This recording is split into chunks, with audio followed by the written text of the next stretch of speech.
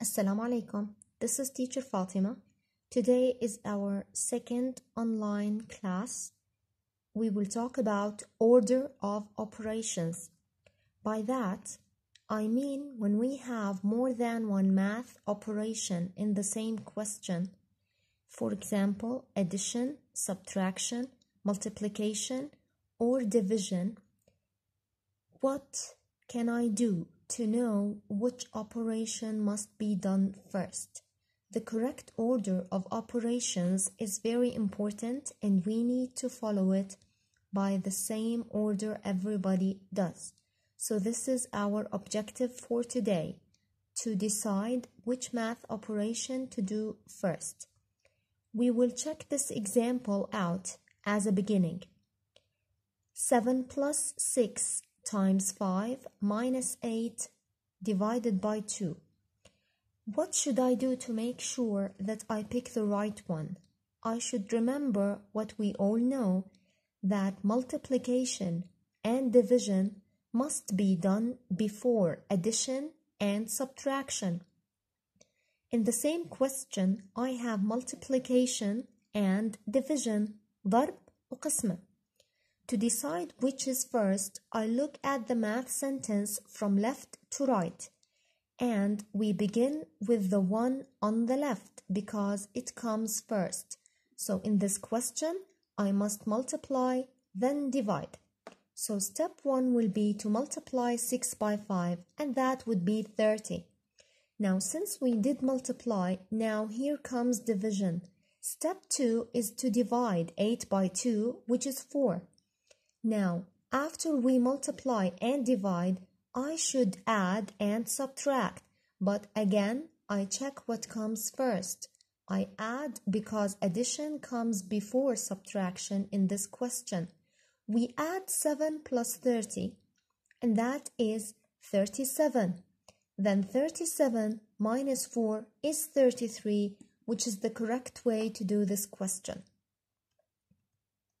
The next exercise is 9 minus 5 times 2 plus 12 divided by 4 plus times 2.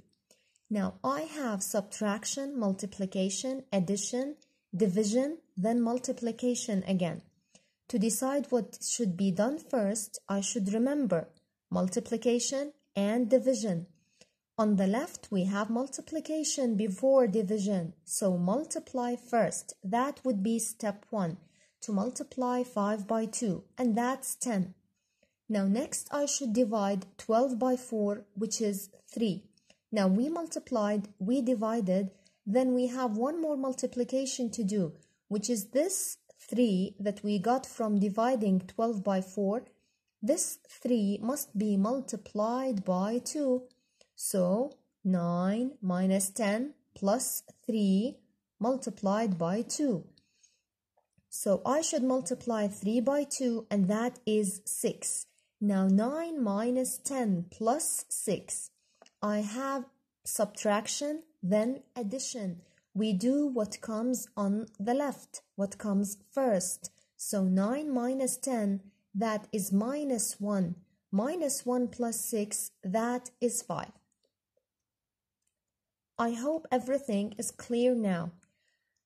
In the next objective, we're going to remember what brackets mean. When we see brackets in the question, what should we do first? Should I multiply? Should I do the brackets first? What should I do? Excellent. If your answer was to do the brackets first, then you are correct. So we must do the brackets before anything else in the question. I have two brackets here, so which one should I do first? Do them both in the same time, no problem. We do the brackets first, so 4 minus 6 and 3 plus 2 are done simultaneously. Now, 4 minus 6 is minus 2 as you can see.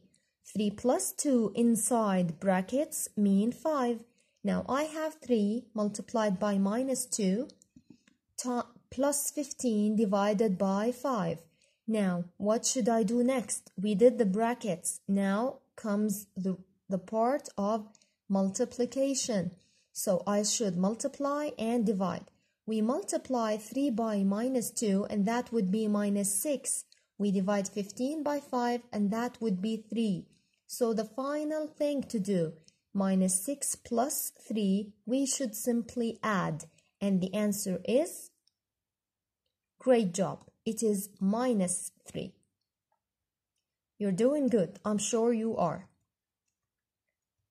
Now, here comes the questions in the textbook. Exercise 3-6 has three main questions. I will give you a couple of minutes to do each one of them and then you can pause the video until you're done, then you may continue. In this question, 8 times 3 must be done first and that is 24. Then we should add it to 2 your answer is 26. Great job. Now, part D. Pay attention. This is D, not B. You have one minute. You can pause the video. There you go. You must multiply before you add. So, 4 plus 12, that would be 16. Good job. Now, exercise 3, 6, same exercise. Question 2, part A says 7 times 2 plus 3 times 2. Pause the video and try. We should multiply 7 by 2, that's 14. 3 by 2, that's 6. Now all you have to do is 14 plus 6 and that's 20. Part B of the same question. 12 divided by 3 plus 6 times 5. Pause the video and give it a try. Yes, you did good.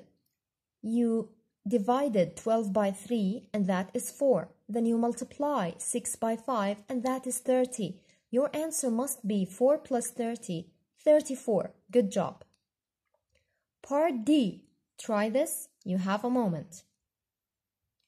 36 minus 9 divided by 3 minus 2, you should divide first. So it becomes 36 minus 3 minus 2 since we divided 9 minus 3. Now we have subtraction, so please go from left to right. 36 minus 3 is 33. Minus 2, that's 31. Great job, everyone. In the same exercise, question 3, part A, 4 plus 5 inside brackets is to be multiplied by 3. To do this successfully, do the brackets first. 4 plus 5, that's 9. And 9 by 3 is 27. Good job. Part B of the same question. Pause the video. 8 multiplied by 12 minus 4. 12 minus 4 are inside the brackets, so we subtract first. That's 8 times 8, which is 64. Part D, the last one.